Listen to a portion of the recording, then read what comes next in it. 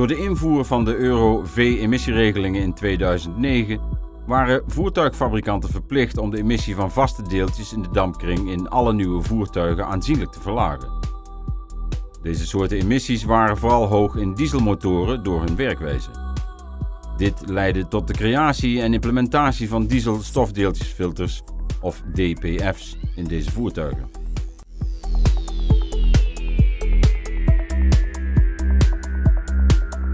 Het basisontwerp begint met een katalysatorsysteem met een dubbele lambda-sonde en de bijbehorende elektronische controle-eenheid, waarbij de katalysator vervangen wordt door een module die het volgende omvat. Een breedband lambda-sonde, een oxiderende prekatalysator, een dieselstofdeeltjesfilter, drukverschilsensor met verbinding, leidingen voor en na de filter en een temperatuursonde. Hun basisfunctie is eenvoudig.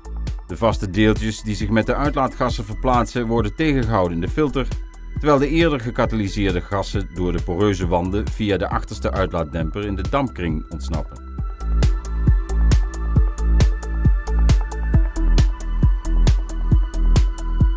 Als de hoeveelheid stofdeeltjes in de filter een bepaald niveau haalt, zendt de drukverschilsensor een signaal naar de elektronische controle-eenheid om het filterregeneratieproces op te starten.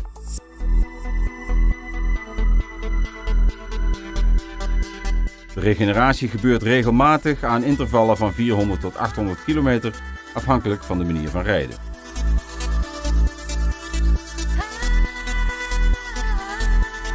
Hierbij wordt de temperatuur van de uitlaatgassen tot ongeveer 550 graden verhoogd, de temperatuur waarbij koolstofdeeltjes ontbranden. Dit wordt uitgevoerd door speciale motorbeheerprogramma's die onder andere afwisseling van de start- en post-injectietijden omvatten. De verhoogde temperatuur verbrandt de koolstofdeeltjes in de filter en vormt hen om tot koolstofdioxide. Vervolgens worden ze in gasvorm uit de filter gestuurd, waardoor deze schoon wordt achtergelaten klaar om stofdeeltjes te blijven opslaan.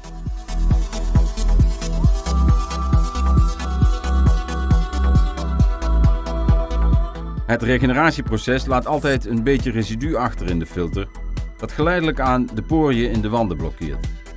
Daarom moet de filter ongeveer om de 80.000 tot 140.000 km vervangen worden.